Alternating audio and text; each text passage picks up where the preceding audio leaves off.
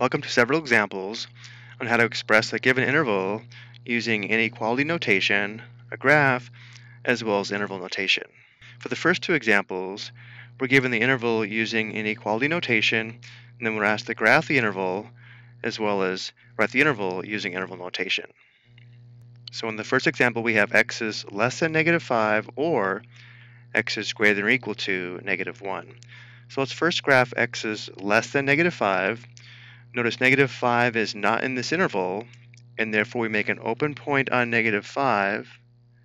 And then because it's x is less than negative 5, we graph an arrow to the left. These are all the values on the number line that are less than negative 5. And then we have or x is greater than or equal to negative 1. So because of the equal part of the inequality symbol, notice negative 1 is in the interval. So we make a closed point on negative 1. And then because the inequality symbol is greater than or equal to negative 1, we graph an arrow to the right. Before we express the interval using interval notation, it's important to recognize as we move left on the number line, we approach negative infinity, as we move right, we approach positive infinity. This is helpful to write the interval using interval notation. Using interval notation, the interval on the left would be the interval from negative infinity to negative 5.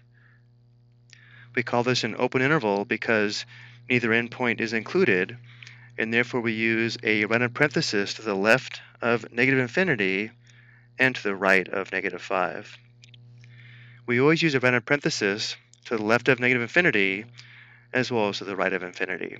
And then for the word or, for interval notation, we use u for union. And then the interval on the right is from negative 1 to infinity.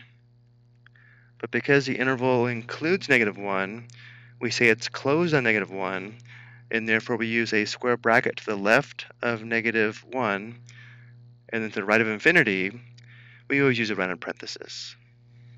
Looking at the next example, we have the absolute value of x is greater than or equal to positive 2. Remember, absolute value is a number's distance from 0, and therefore the graph of this interval is the graph of all the numbers on the number line that have a distance from 0 that's greater than or equal to positive 2.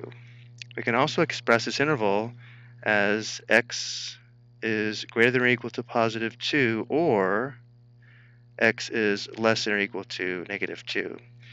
Notice for the first inequality, we just drop the absolute value, but for the second inequality, we drop the absolute value, reverse the inequality symbol, as well as change the sign of the value on the right. So to graph this interval, let's first graph x is greater than or equal to positive 2. Because 2 is in the interval, we make a closed point on positive 2. And because the inequality symbol is greater than or equal to positive 2, we graph an arrow to the right, and we'd be approaching positive infinity. And we have or x is less than or equal to negative 2, so we have a closed point on negative 2, arrow to the left. As we move left, we approach negative infinity. And notice how we've just graphed all the numbers on the number line that have a distance from 0 that is greater than or equal to 2 units. And now to express the interval using interval notation, the interval on the left would be the interval from negative infinity to negative 2. The interval includes negative 2, so we have a square bracket to the right of negative 2, rounded parenthesis to the left of negative infinity, and then union, the interval from 2 to infinity.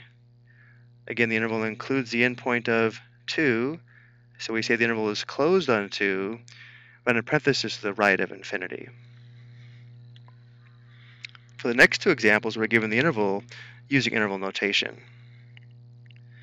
So let's go ahead and graph this interval here where we have the interval from negative infinity to negative 6. The interval is closed on negative 6, so it includes negative 6. Union, the interval from negative 4 to infinity, and the interval includes the endpoint of negative 4, or we say the interval is closed on negative 4. And remember, to the left, we approach negative infinity. To the right, we approach infinity. So the interval from negative infinity to negative 6, closed on negative 6, would have a closed point on negative 6, arrow to the left. the interval from negative 4 to infinity would have a closed point on negative 4, arrow to the right. And now we'll express the interval using inequality notation. The interval on the left would be x is less than or equal to negative 6. And then we have or. The interval on the right would be x greater than or equal to negative 4. For the next example, none of the endpoints are included, so we say we have the open interval from negative infinity to 4 union the open interval from 4 to infinity. Notice how this would be all the numbers on the number line except 4. Graphing them individually, the open interval from negative infinity to 4 would have an open point on positive 4, arrow to the left, approaching negative infinity, union the open interval from 4 to infinity would also have an open point on positive 4, arrow to the right, approaching positive infinity.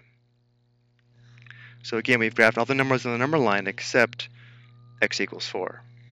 And now we'll express the interval using inequalities. The interval on the left would be x less than 4, and then we'd have or. The interval on the right would be x greater than 4. And now we'll look at two more examples on the next slide. For the last two examples, notice how we're given the graph and asked to express the interval using inequality notation as well as interval notation. So for the inequality notation, for the interval on the left, because we have an open point on negative 1, we have x is less than negative 1, or the interval on the right, because the point is closed on 0, would be x is greater than or equal to 0. And then for the interval notation, we know to the left we approach negative infinity, to the right we approach infinity. So the interval on the left would be from negative infinity to negative 1. Does not include either endpoint, so we have an open interval. So we have a parenthesis to the left of infinity and to the right of negative 1, union, the interval from 0 to infinity. The interval includes 0, or the interval is closed on 0. So we have a square bracket to the left of 0 and a parenthesis to the right of infinity. And finally, for our last example, focusing on the interval on the left first, notice how we have an open point on negative 2, arrow to the left, which means x is less than negative 2, or notice for the next interval, we have two open endpoints, and the graph contains all the values between negative 1 and positive 1. So x is greater than negative 1 and less than 1. We can express this compound inequality as x is greater than negative 1 and x is less than 1. Notice how this would be all the values between negative 1 and positive 1, not including the endpoints. And then finally for interval notation, to the left we approach negative infinity. So for the interval on the left, we have the interval from negative infinity, comma, to negative 2. Neither endpoint is included. So we have a parenthesis to the left of negative infinity and to the right of negative 2. Union, the next interval is from negative 1 to 1, and neither endpoint is included. So again, we use a parenthesis to the left of negative 1 and to the right of positive 1. I hope you found this helpful.